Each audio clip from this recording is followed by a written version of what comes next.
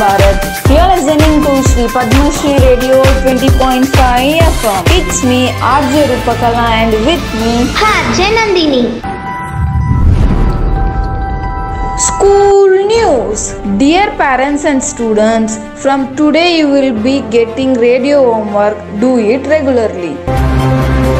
Breaking a zero tolerance policy against terrorism, says Amit Shah. News 2 Southwest monsoon withdraws from India. World News. Military dissolves civilian government and arrests leaders. COVID news Jammu and Kashmir records 60 fresh COVID cases, one death in 24 hours. General knowledge. Friends, today we are going to know about cockatiel. They are the second most common bird species kept as a pet. Cockatiels can live from 10 to 24 years depending on how healthy their lifestyle is. Although wild cockatiels usually live shorter, cockatiels have tiny feathers on their head called a crest.